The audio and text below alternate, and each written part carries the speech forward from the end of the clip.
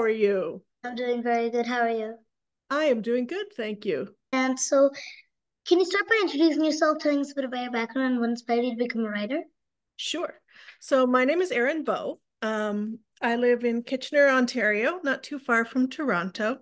And I write children's books and poetry, and I write about uh, science for a living. Like I write mm-hmm. science articles about things like black holes. I like my job. I uh, I've always been the kid with my nose in my books, um, and I've always loved books a lot.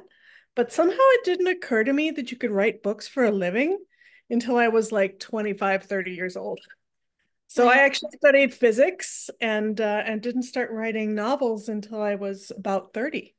Oh. Um, so I've had kind of a different, uh, kind of an interesting career path. But mm. I've always loved books. I love stories. I love books for young readers are my favorite books. Uh, and so when I started writing books, I just sort of automatically started writing books for readers. So I write mostly middle grade and young adult. I write fantasy, I write contemporary stories. I write science fiction. Mm. I have a lot of animals in my books and in my life. Mm. That's adorable. Um, how did you get the idea for the um dog um Herc? Is did you get the idea from your own dog? From Luna, a little bit. I always the illustration looks the same, books. sort of. Yeah, they do kind of look the same, don't they? Mm-hmm. Uh, Luna is a golden doodle and Hercules is a golden retriever, so they're sort of cousin species. Yeah. Um, yeah, I really like animal people relationships in books. Mm-hmm. So I wrote one book that's got a girl who has a talking cat. And I wrote one book that's got a girl who's training um, a hunting eagle. And then in Simon Sort of Says, my latest book, um, Simon is helping to raise a puppy that they're hoping will be a guide dog. Mm. But actually, Simon and Hercules, the guide dog, bond themselves, and mm, so Hercules doesn't go off to guide dog school. He just yeah. Well, uh, that's that's good for Hercules because honestly, I would think guide dog school would be a tiny bit boring. yeah, they develop some real interesting skills there. It takes a special mm. kind of dog. True. What inspired you to write Simon Sort of Says? So Simon Sort of Says is um, a middle grade book. So you remember I just said that I I trained to be a physicist, right? Mm-hmm. So I am specifically a particle physicist. They're the people that crash two things together and see what happens in the mess and see what they can mm-hmm. learn about ideas by like colliding two things at high energy. And I usually find my books are kind of the same way. I think I have one idea but it doesn't actually work until I hit it with another idea at like full speed and create a terrible mess. Yeah, um, well, this book wasn't a terrible mess, it was an awesome one.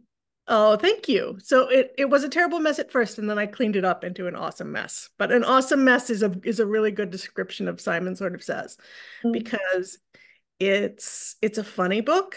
Um, mm-hmm but it's also a serious book, right? It's a it's a book about a boy. About it, I mean, Simon sort of says is sort of like I mean Simon is sort of like a mess a bit, but yeah. he's awesome. So. technically, if you collide those together, awesome mess. Yeah. So yeah. he's he's it's a funny book, but it's a book about recovering from trauma, right? He's mm-hmm. been through something terrible, so it's got that serious thing in it too. Um, but it's also about like there are people in the town who are listening, who are running a project to track signals from outer space and try to find space aliens. Yeah. And there are people in the town who have an emu farm. And there are people like Simon's dad um, is a pastor at the church, and Simon's mom is an undertaker. And so there's weird stuff at the church. And there's a point where the funeral home loses a body. Yeah. And it's it's an awesome mess. I think awesome mess is a great way to describe awesome it. How'd you come up with the idea for the characters Agate, Kevin, and um, Simon?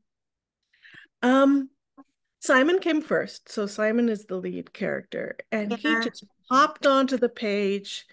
That first chapter, in the first chapter, Simon tells um, the readers why they moved away from Omaha.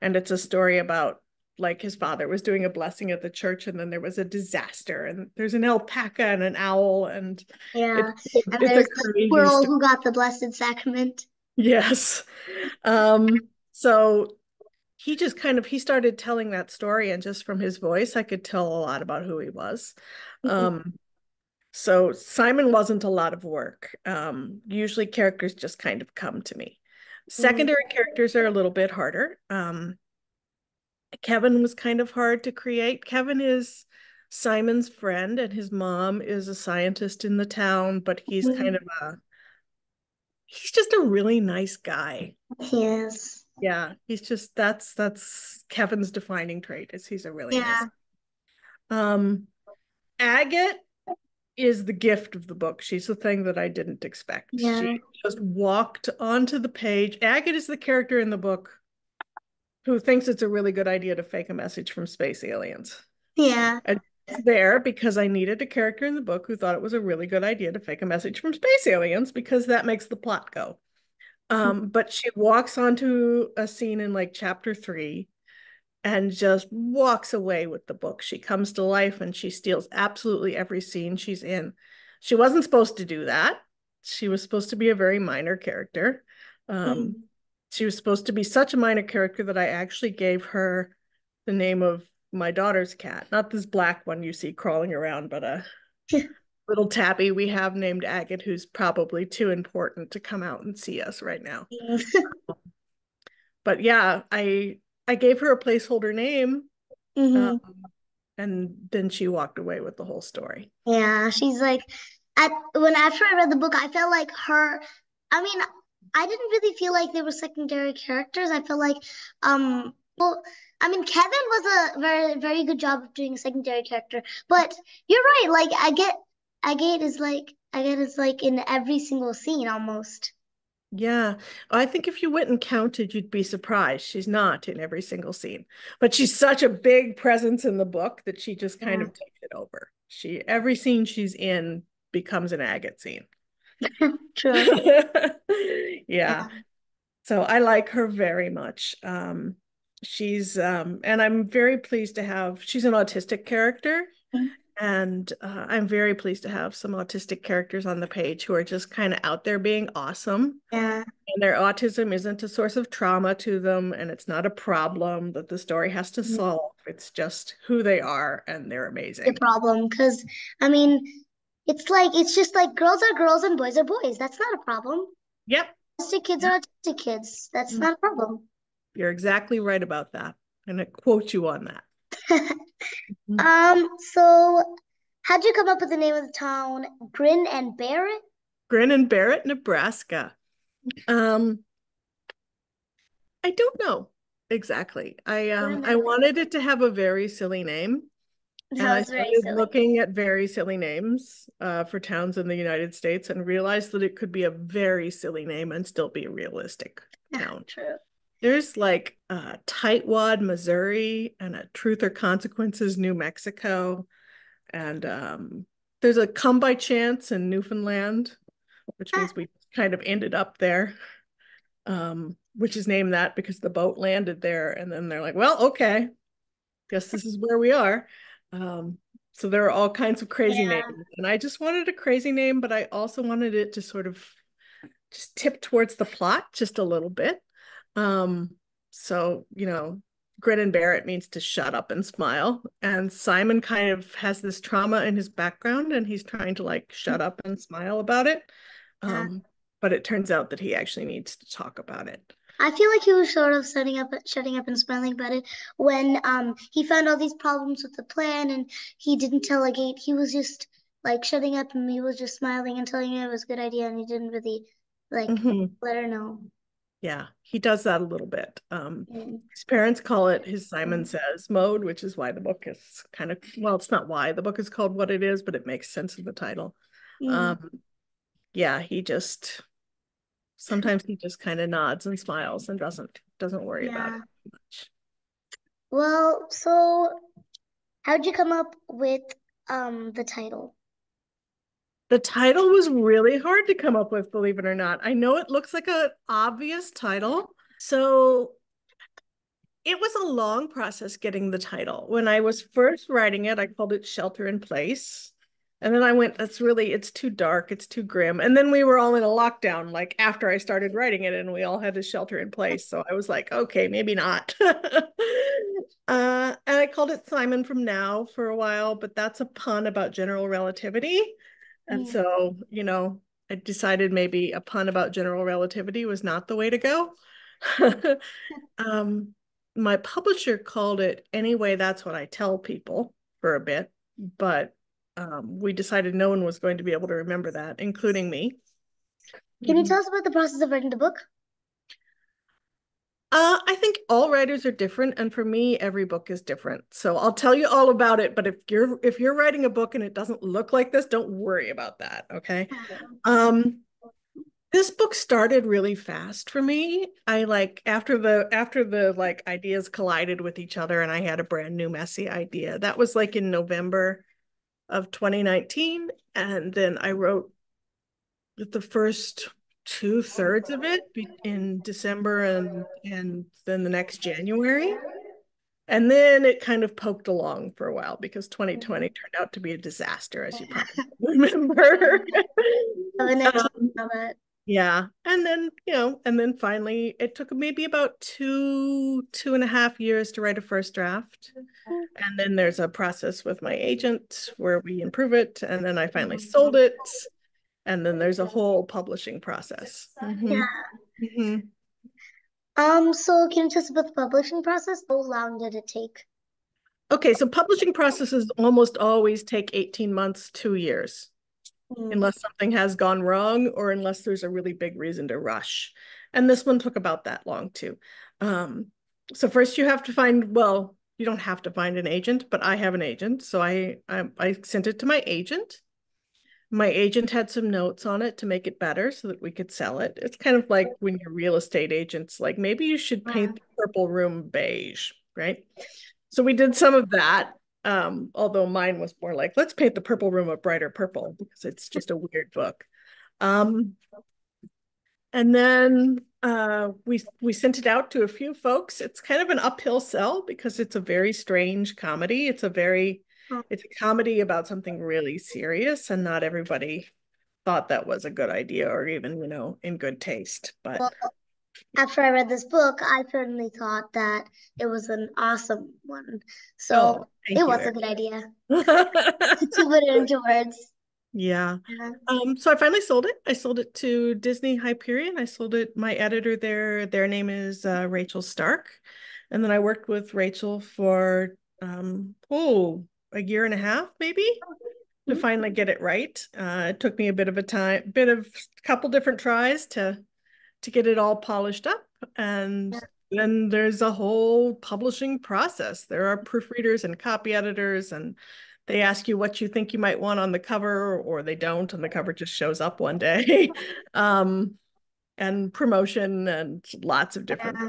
So the number of people that work on a traditionally published book, um, like Simon sort of says, is a really big number it's such a big number that I had to write to my editor and say, I want to thank everybody, but I need you to make me a list because I can't keep track. So if you actually look at the back of, of the book, there's, know, yeah, there's, there's, like so three pages of thank yous of people who worked on the book. Yeah. Mm-hmm. So what message theme do you hope young readers learn from this book? Um, this is kind of a story about healing and you know so, something bad has happened to to Simon and he's become famous for it. And if you want to know what it is, it's in the flap copy. So if you're a person who something like bad has happened to you and you want to check that it's not that thing, I totally understand and I support that. So go check. Um but you know, it's kind of defined who he is, this terrible thing that happened in his past. And this whole story is kind of him slowly realizing that yeah this terrible thing happened to me but it's not everything it doesn't define who i am it's not my whole story it's That's just true. part of my story so it's always going to be part of what what has happened to him and who he is mm, true. by the end of this book he realizes that it's not the whole thing mm-hmm. and you know trauma and it's really common in children and adolescents really mm-hmm. common like one in 20 kids will have the disorder Simon has, which is PTSD, post traumatic stress disorder, mm. um, for one reason or another. And I hope, you know, a good message to take from this book is maybe the message Simon takes from this book is like, yeah, the tough stuff is part of what's made you who you are, but it doesn't define you. You're so much more mm. than that. It's just like a it's like a huge nasty scar. Yeah. At some point or another, you're gonna forget about it. And it's yeah. not big of a deal. Yeah, you got more skin than just the scar, right? True. Yeah. Yeah. Scars um, mean you survived, right? Scars mean you survived. True, true. If there's no scars to show, then I mean, it's like it never even happened. But I think I think scars are what make you feel brave the next time something bad happens. I hope so. Yeah. It makes you feel like I've already been through this, I've done this, I can do it again. Mm-hmm. What advice would you give to young authors who are just starting to write? Um, maybe what I said earlier about not worrying too much about rules, right? Yeah. If you want to write something, go write it. Like, yeah. go ahead, start now. There's never going to be a perfect time to start. There's always going to be like something that's like, oh, I should study for finals and I'll start after finals. Um, there's never going to be a perfect time and you're never going to have everything you need. So you might as well jump in now. right? It's never going to be right. So you might as well start now. Start now and have fun with it. And don't pay too much attention to people who think that they know how you ought to write a book. They know what works for they them, but you have to figure out what works for you. Yeah, they don't know how it works with you. Yeah. So if you could give one piece of advice to yourself by going back in time when you're just starting to write, what would it be? Ooh, that's an interesting one. Um, maybe I'd tell myself not to worry quite as much too. I, I wrote this first book really, really slowly, and it felt like kind of a waste of time. And if I could maybe tell my my past self that's like, no, this is a delightful book that lots of people will read and some people will really like, mm. and just give them that give just give my past self that insurance. Yeah, yeah, this will be a special book for somebody. Mm. That's my hope. Every time I write a book, I it's very nice to have a shiny prize sticker. And I assume it would be very nice to make a best selling list, although that's never happened to me. but what is the best thing is to make a book that's a special book for somebody. Mm. Well, for me, all the books I have are special books. Mm-hmm. And the most annoying part is when I get books from the library, I can't keep those special books. Oh, yeah, yeah. I know. Well, you can see behind me that I have kept a lot of books, but if I had to buy all of the books, we wouldn't have a house to put them in. The library, uh, the library is an important resource. What do you enjoy doing for fun? Other than I, reading, of course. Oh, other than reading, of course. Yeah. Um, I like science fiction on television. I like Star Trek. Uh, I love my garden. I spend a lot of time in my garden. Um, I obviously have kind of a thing with my animals, with my pets, and uh, and that kind of thing. I'm learning to paint. Ooh, interesting. Yeah, I'm not I'm not very good at it, but it's kind of nice to have one creative. There's never good art there's never a bad art. It's just art. Um I used to like to cook, but I haven't done it too much recently as opposed to just, you know, mm-hmm. spaghetti for supper. so I'm hoping that eventually we can get back to dinner parties and Ooh, that sounds so interesting. Dinner parties are fun. I like to yeah. cook for friends. What other books are you planning to write? Well, I've always got a stack of books on the go. Um, and I'm interested in all kinds of things. Yesterday, I was starting to do some research about um, crows and how crows have their Ooh. own crow society, because I'd really kind of like to write a book about a crow society. That would be fun. You should um, write a um, book about Planet Crow. Planet Crow. Yeah. Yeah. My my daughter over here in the corner who loves crows is like, yes, let's spend the next five years obsessed with crows. So yeah. Mm-hmm. Um. So thank you so much for your time. It has been um very nice talking with you.